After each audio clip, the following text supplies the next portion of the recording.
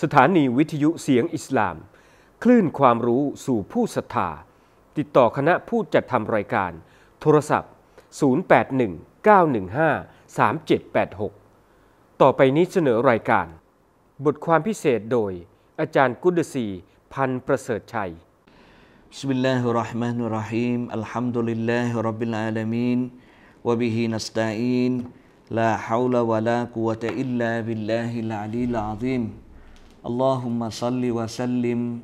wa barik ala abdika wa rasulika Muhammad wa ala alihi wa sahbihi wa man tabi'ahum bi ihsanin ila yaumiddin. Amma ba'du.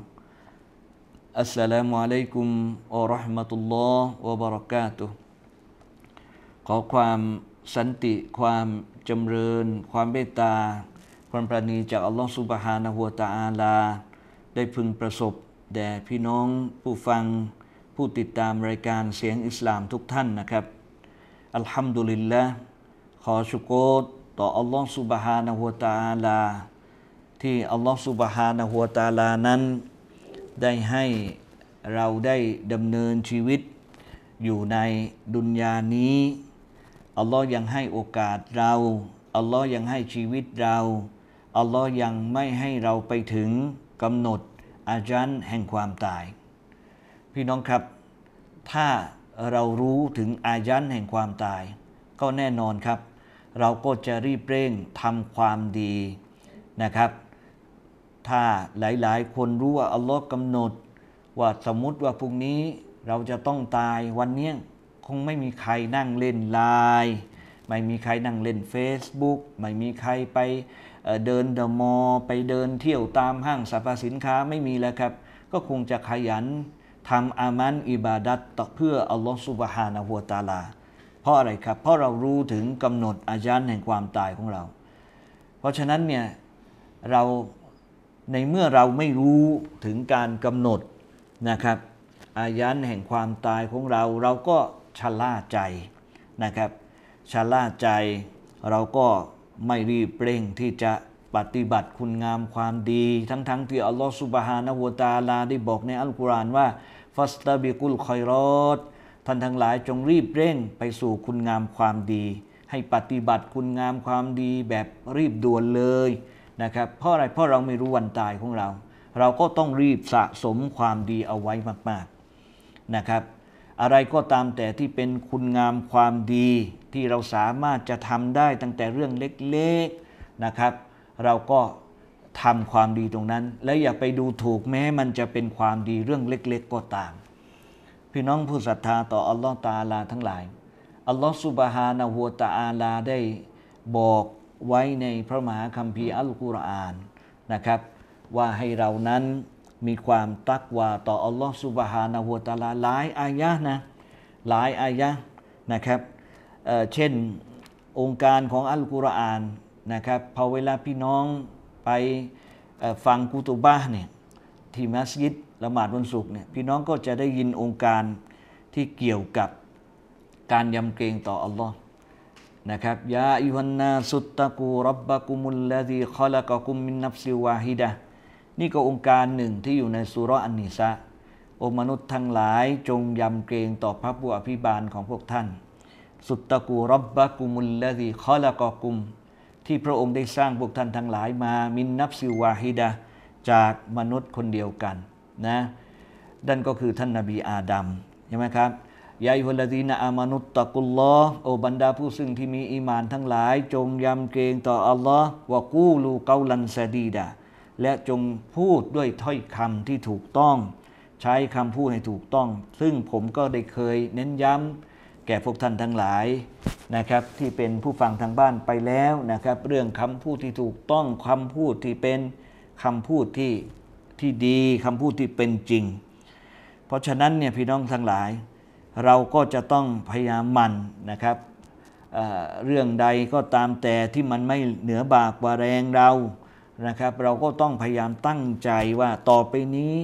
ฉันจะต้องทำอย่างที่อัลลอฮ์ใช้ฉันให้ได้ ต่อไปนี้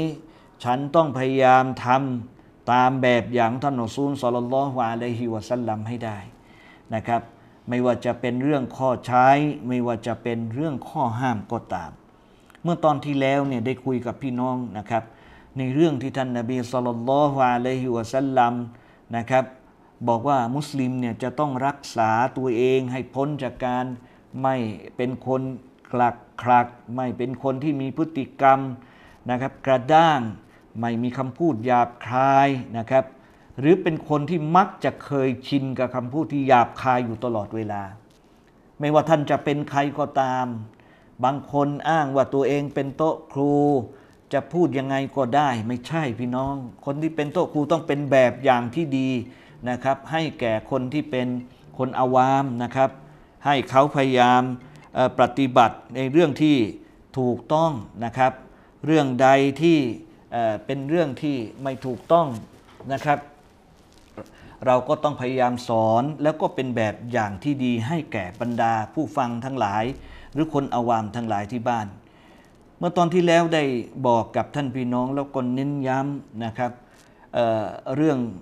ในศาสนาของเราก็มีสองเรื่องใหญ่ ๆ ก็คือเรื่องใช้กับเรื่องห้ามนะครับท่านนาบีสุลต่านละฮ์อะลัยฮิวะสัลลัมได้บอกได้แจ้งให้กับเราได้รับทราบว่าอัลลอฮ์เนี่ยโกรธกิ้วนะ คนที่กลักคลักคนที่มันหยาบช้านะครับ ชอบใช้ความรุนแรงพูจาหยาบคายนะครับ ตามท้องตลาดในที่สาธารณะ แล้วก็ กลางคืนเนี่ยไม่ขยันเลยในการทำอามันอิบาดัตต่ออัลลอฮ์สุบฮานะฮุวตาลานะครับ แล้วก็เรื่องดุนยาเนี่ยรู้ไปหมดทุกเรื่องเลย แต่เรื่องอาคิรอเนี่ยไม่รู้สักเรื่องหนึ่งเลยนะครับแทนที่จะได้ศึกษาถึงประวัติของท่านอัซูลสลลลอฮวาเลฮิวะซัลลัมนะได้ศึกษาถึงคำสอนของท่านอัซูลสลลลอฮวาเลฮิวะซัลลัมนะครับ ก็กลับไปทุ่มเทให้ความสำคัญกับในเรื่องดุนยาจนกระทั่งเรื่องอาคิรอเนี่ยไม่รู้อะไรเลย บางคนเนี่ยนะครับจะอาบน้ำมายัดให้กับคนที่เป็นคุณพ่อคุณแม่ก็อาบไม่ได้นะครับเพราะอะไรก็เพราะว่าไปไม่ไปศึกษาเรื่องอื่น แต่ในเรื่องนี้เนี่ยก็ไม่ได้ศึกษาอะไรเลย ก็ต้องไปไหว้วานคนอื่นให้มาอาบน้ำให้กับพ่อกับแม่ตัวเอง ยามที่พ่อแม่ตัวเองนะครับ ได้เสียชีวิตตายจากโลกดุนยานี้ไปแล้วจะกระฟันให้พ่อแม่ก็ทำไม่เป็น พี่น้องครับ อันนี้ก็เป็นเรื่องที่บอกตรงๆว่ามันเป็นเรื่องน่าตำหนินะครับ เพราะว่าเราเนี่ยทำให้กับกาเฟสทำให้ได้ทุกอย่างเลย แต่ทำให้กับพ่อแม่เราเนี่ยเราทำให้ไม่ได้ พี่น้องครับ เพราะนั้นต้องพิจารณาดูเยอะๆนะครับเเรื่องที่เราควรจะต้องทำให้ได้ พี่น้องครับวันนี้ก็อยากจะมาต่อยอดนะครับ เมื่อคลิปตอนที่แล้วนะครับ บทความพิเศษตอนที่แล้วที่ให้ระมังรักษาลิ้นของตัวเอง อย่าเป็นคนปากตลาด อย่าเป็นคนชอบพูดจาหยาบคายนะครับกลักครักชอบด่าทอคนอื่น พี่น้องครับมีอีกคำสอนหนึ่งที่เป็นคติธรรมนะครับ อันมาลิก อันมาลิกอิบนีอานาเซนรอดิยัลลอฮุอันฮุกาลมรบิอีซาบนีมารยามอะลัยฮิสสลามุขินซีรุน فقال مر بسلام فقيل يا روح الله لهذا الخنزير تقول กอละอักรหูอันอุอาวิดะลิซานีอัชชารีนะครับได้มีการเล่าจากท่านมาลิกอิบเนอานัสว่า มีหมูตัวหนึ่งนะครับ ก็คือสุกรตัวหนึ่งเนี่ย เดินตัดหน้าท่านนาบีอีสาอะลัยฮิสสลามนะหมูตัวนี้มันเดินตัดหน้า ท่านนาบีอะลัยอีสาอะลัยฮิสสลามฟะกอละมุรบิสลามินนะครับ ท่านจึงได้กล่าวแก่หมูตัวนั้นว่า เออ ไปดีๆนะ มุรบิสลามันไปที่ชอบที่ชอบนะไปดีๆนะคำว่าบิสลามินก็คือไปดีๆ ไปอย่างปลอดภัยนะฟักกีลยารุฮัลลอฮ์ บางคนก็ได้กล่าวกับท่านนาบีอีสาว่ายารุฮัลลอฮ์รุฮัลลอฮ์นี่หมายถึงนบีอิสาเป็นฉายาหนึ่งของท่านนาบีทำไมถึงพูดกับหมูอย่างนี้ล่ะทำไมถึงพูดกับหมูอย่างนี้ล่ะ เหมือนกำลังจะบอกว่าควรจะพูดว่า ไปไปไปไปไปให้ไกลเลยนะน่าจะพูดอย่างนั้นมากกว่า แต่กลับพูดกับหมูว่านะเออไปดีๆนะ ไปดีๆ อะไรทำนองนี้พี่น้องครับ พี่น้องรู้ไหมครับว่า ท่านนาบีอีสาตอบว่ายังไง ท่านตอบว่าอักรอฮูอันอูอาวิดาลิซานีอัชชารีนะท่านนาบีอีสาตอบว่า ฉันกลัวว่าลิ้นของฉันเนี่ยมันจะเคยชินกับคำพูดที่ไม่ดี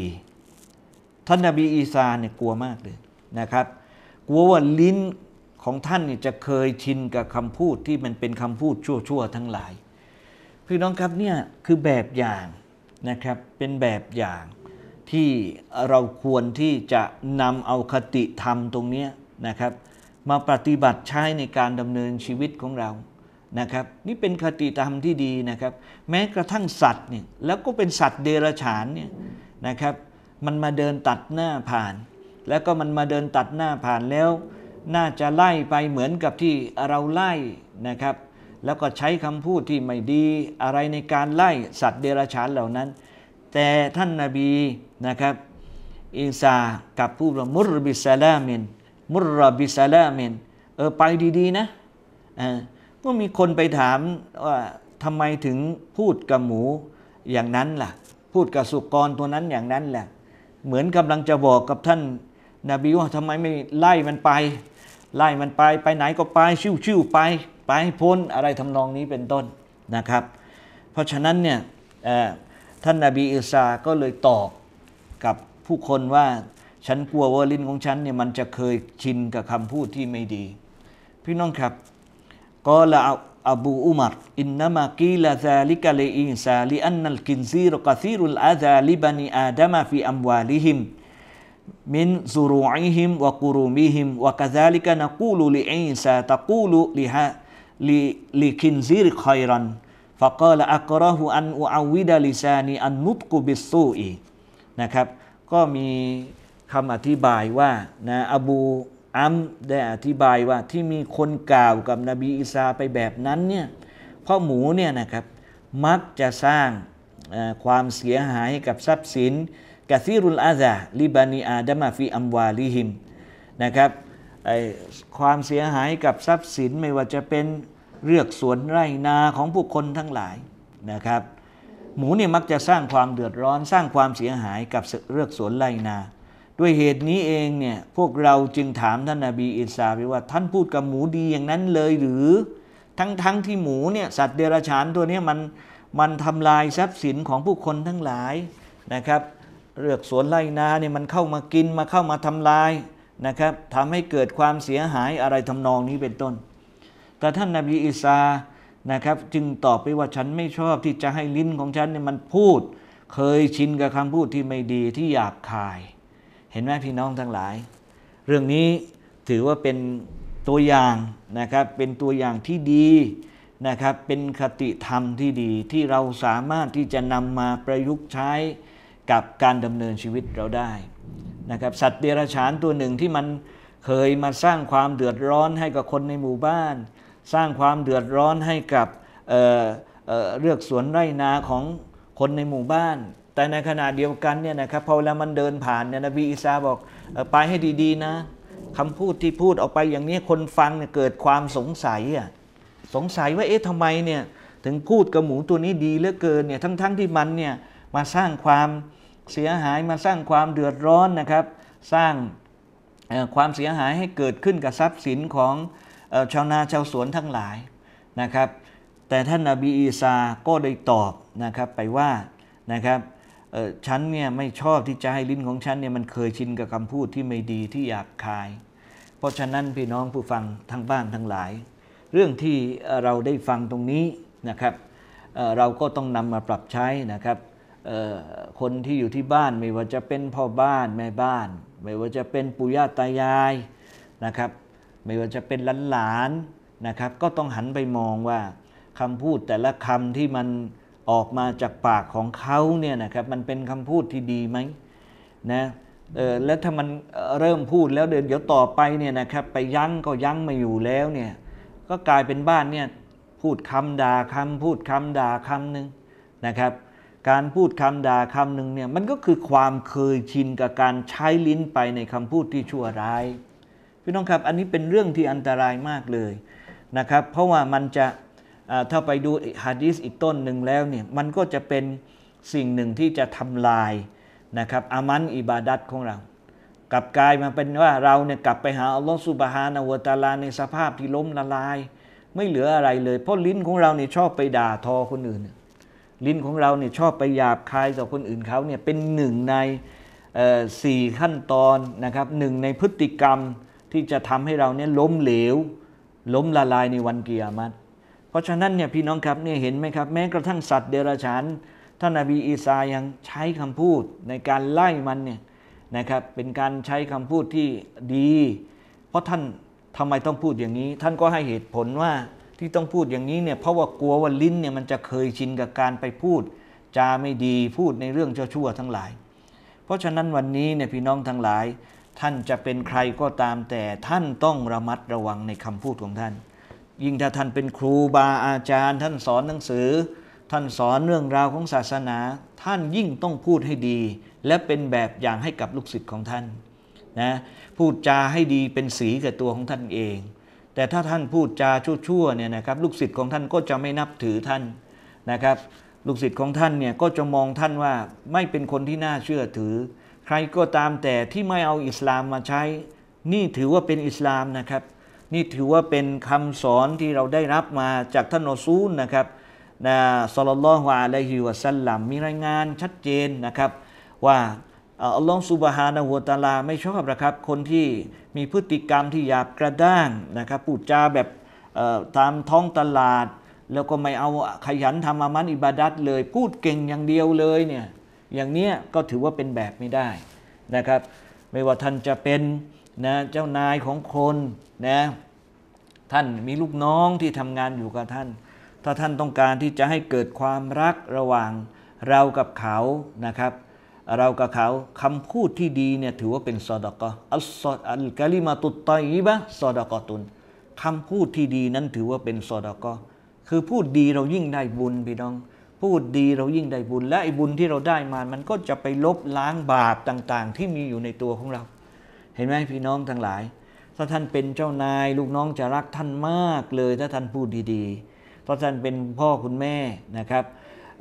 ลูกๆก็จะรัก นะครับให้ความเคารพท่านด้วยกับคำพูดที่ดี วาจาที่ดีนะครับ ถ้าหากว่าท่านเป็นครูบาอาจารย์ ลูกศิษย์ของท่านก็จะรักและก็นับถือท่านนะครับ และลูกศิษย์ของท่านก็จะจดจำในพฤติกรรมของท่านไปตลอดชีวิตว่าในชีวิตของฉันเนี่ยฉันไม่เคยเห็นครูของฉันคนนี้เลยเนี่ยนะครับเป็นคนที่มีพฤติกรรมกระด้าง เป็นคนที่พูดจาหยาบคาย ฉันไม่เคยเห็นครูของฉันพูดอย่างนี้เลย ฉันโตมาฉันไม่เคยเห็นพ่อแม่ของฉันเนี่ยด่าว่าหรือด่าทอด้วยคำพูดที่หยาบคายเลยแม้แต่คำเดียว อัลฮัมดุลิลละเนี่ยมันเป็นความประทับใจพี่น้องเห็นไหมครับ หรือแม้กระทั่งคนที่เป็นอิหมามนะครับ คนที่เป็นผู้นำอะไรก็ตามแต่องค์กรไหนก็ตามแต่ถ้าคนใช้คำพูดที่ดี คนที่อยู่ในมุกกำปงนะครับ คนที่อยู่ภายใต้การปกครองของท่านก็จะประทับใจในตัวท่านว่า ตั้งแต่ฉันเลือกคนคนนี้มาเป็นผู้นำเนี่ย ฉันไม่เคยเห็นพฤติกรรมของคนคนนี้หยาบกระด้าง ฉันไม่เคยเห็นถ้อยคำที่หยาบคายที่ออกมาจากคนคนนี้เลย พี่น้องครับมันเป็นเรื่องใหญ่นะครับ ถ้าหากว่าเราพิจารณาดีๆ แล้วเนี่ยนะครับมันจะทำให้เกิดความรักเกิดขึ้น ถ้าหากว่าเราละทิ้งพฤติกรรมนะครับ ที่มันเป็นการหยาบคายนะครับ แล้วก็ไม่ไม่ระมัดระวังในการใช้ลิ้นของเรานะ คนที่เป็นมุสลิมที่ดีนั้น ท่านนาบีصلى الله عليه وسلم ก็บอกไว้อยู่แล้วนะครับ ในرواية อื่น ๆว่ามุสลิมนั้นนะมุสลิมที่ดีนั้นก็คือมุสลิมที่นะจะต้องให้ความปลอดภัยนะครับกับมุสลิมคนอื่นนะครับไม่ไปทำร้ายคนอื่นด้วยลิ้น ไม่ไปทำร้ายคนอื่นด้วยมือของเขา เห็นไหมمن سلم المسلمون من لسانه ويده เอ่อ มุสลิมนั้นก็คือผู้ที่ได้รับความปลอดภัยจากลิ้นของเขาแล้วก็จากมือของเขา เพราะฉะนั้นพี่น้องครับถ้าวันนี้เราได้รับอันตราย เราได้รับความเดือดร้อนนะครับ